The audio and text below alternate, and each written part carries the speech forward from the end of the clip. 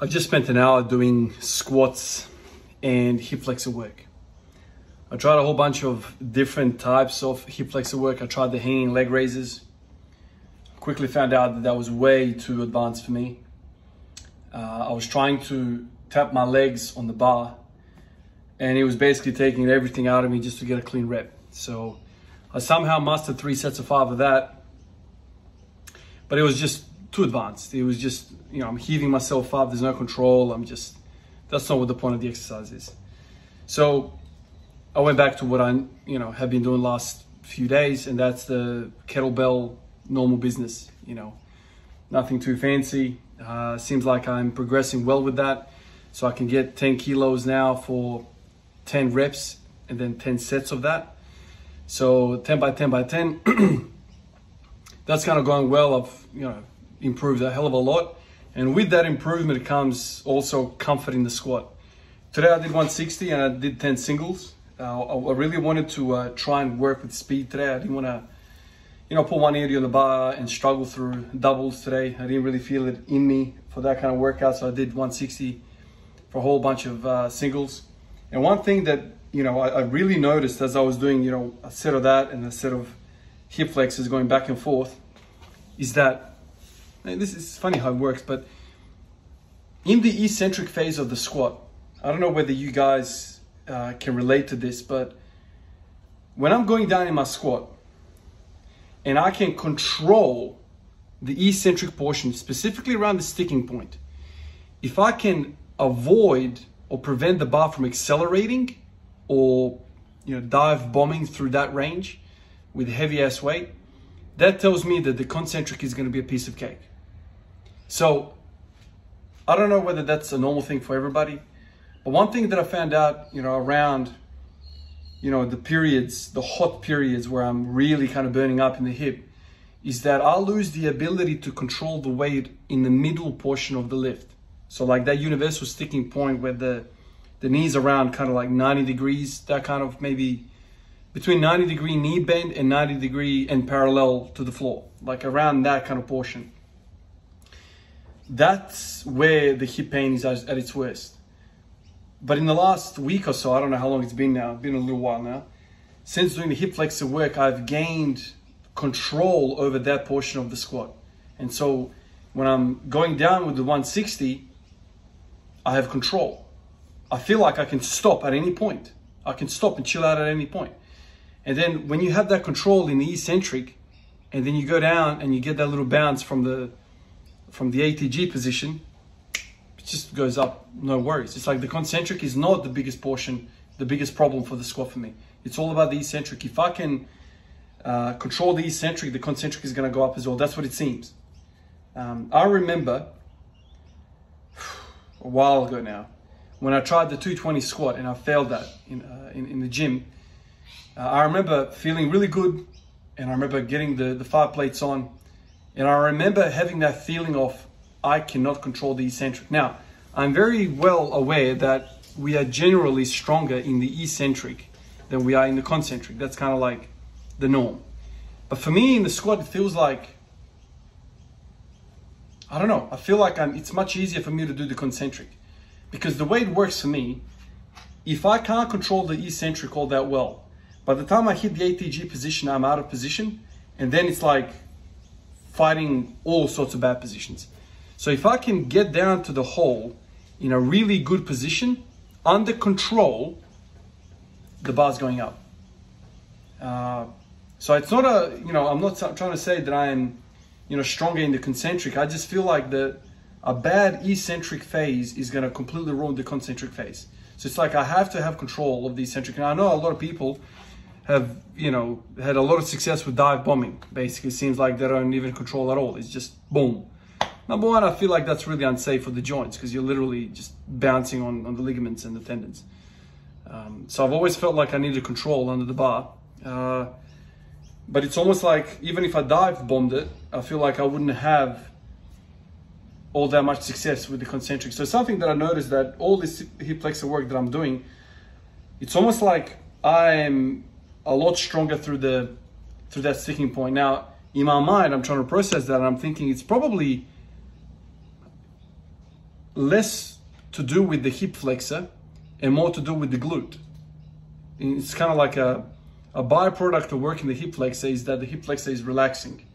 And when you have a hip flexor that is relaxing, it's not producing so much, so, so much, I don't know what the word is, antagonizing forces to the glute. They're opposites. So if the hip flexor is going crazy, locking up, your glutes are gonna have a hard time to fire.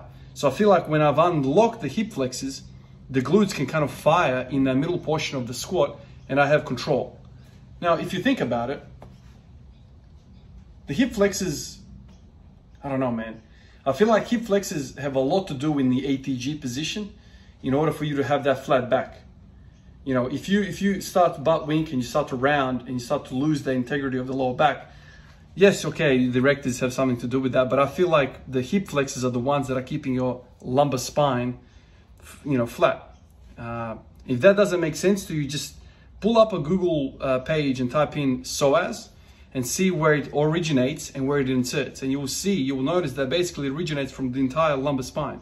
It's like a fan muscle. It's got all these points, all these vertebrae, uh, different vertebrae that, that it's coming from. So it's like a, you know, it's like that. If, if these are the bones of the back, each of these fibers is kind of like connecting to a different lumbar uh, process. So I think it goes from like T12 all the way to L5. So basically the entire length of the lower lumbar spine is uh, controlled by the, the, the psoas. So if you can imagine, the psoas contracting is going to produce basically anterior pelvic tilt.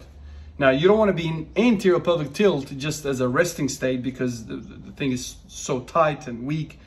You want to actively be able to hold that position, not just because it's so tight and weak, because then you can't control it.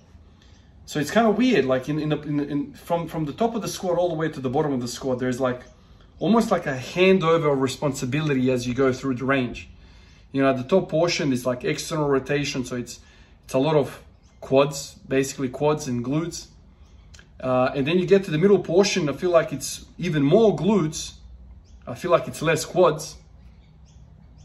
But at the bottom of the squat, like in the ATG position, the primary hip extensor is the adductors. And so and this is why the people that squat ATG, they will feel a lot of adductor work and they'll feel a lot of DOMs to the adductors. I mean, that's my primary soreness that I feel from squats when I push them. Uh, it's just adductor soreness. Uh, so you get to the hole, adductors and quads get you out of the hole. And then as you kind of progress through that hip extension, the adductors start to lose their uh, mechanical positioning to act upon the body. And so then the glutes become the main hip extensor uh, through the middle and the top portion. Um, so if you if you're struggling in that sticking point, which is going to be a mechanical thing anyway, right? Like this is the way the forces are. This is the way we're built. You're to struggle in the sticking point, but if you're really kind of like feeling, okay, I'm a lot stronger around this sticking point. You know, there's like a glaring weakness in the sticking point, like even more so than normal then probably look at your hip flexors and probably probably look at your glutes and you know just look at yourself in the mirror. If you're standing all freaking whack, your pelvis is completely unbalanced, anteriorly spilling your water at the front. If you imagine the, the, the pelvis is a cup, if you're spilling water at the front, that means the anterior part of you, the anterior chain, is too tight and freaked out, and you got to sort that out. So then it stops inhibiting the posterior chain. So it's kind of interesting how you can look at somebody squat.